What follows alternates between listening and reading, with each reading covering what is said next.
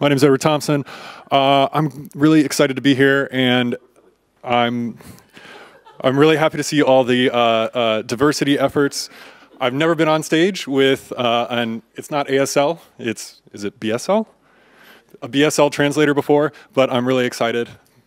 I'm really pleased, uh, and I don't think I've ever been uh, live uh, transcripted either. So very exciting. I'm really happy to see that. I'm ready whenever you are. Great. So again, my name is Edward Thomson. Uh, I'm a product manager at GitHub. Today, I'd like to give you some top tips for using Git. I think that's very important whether you're on the dev side of the house, writing code, or on the ops side of the house using config as code or infrastructure as code.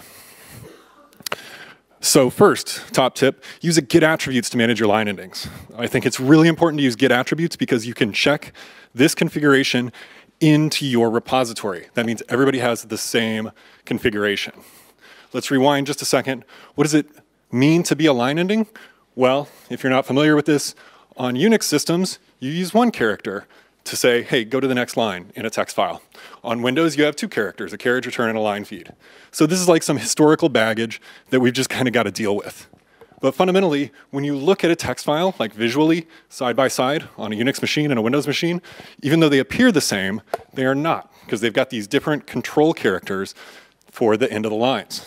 Now, our goal here is really to have Git handle this for us so that if I'm editing a file on a Windows machine, I get Windows line endings, check it in.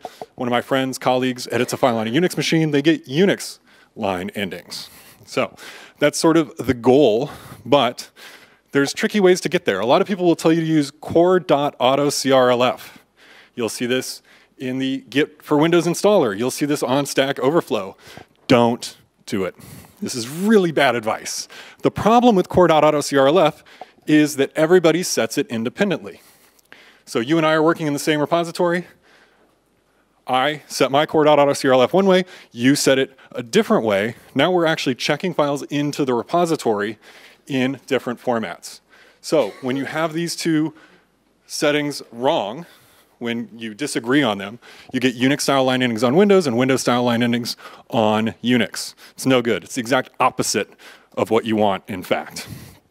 The nice thing about Git attributes is you check this into the repository, so everybody using that repository has the same settings. I recommend star text equals auto. That means the native line ending configuration on every platform. But fundamentally, I don't care what you put in there as long as you put something in there so that everybody agrees.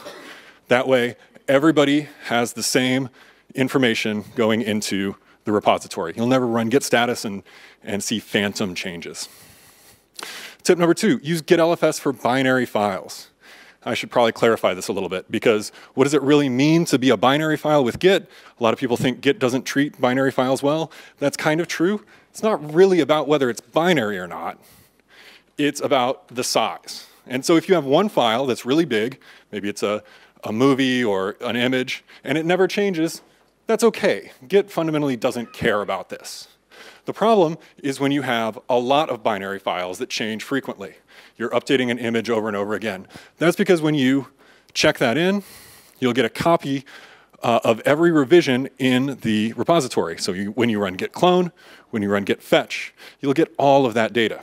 So if I'm manipulating like a 75 megabyte PNG and I'm making changes over and over again, I get that file actually in the repository. So when I run git clone, I'll get every revision, even though I don't need every revision. GitLFS changes that. So instead of when I run git add and git commit, putting the actual binary into the repository, I put a little pointer file that has metadata about the image and where to get it. And that way when I run git clone, I only get the most recent version of the image. So I get all the metadata, all the historical information about the image, but when I go to check out that latest version, it'll only put the most recent version on disk. So that means when I run git clone, it's very efficient. I only get the metadata and the images I need for the latest revision. And it's very time efficient. So it's quick. Uh, it doesn't take up a lot of disk space unnecessarily. Finally, top tip number three, know how to recover data with Git. Because I've used Git for a long time. I've actually written parts of Git and I still get rebase wrong every day. I'm sure you do too.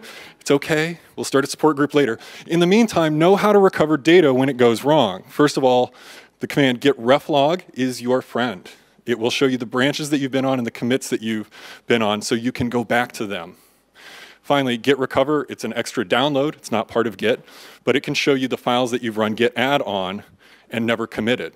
So just run git add, then you can run git recover, and you'll get that data back, even if you never committed it.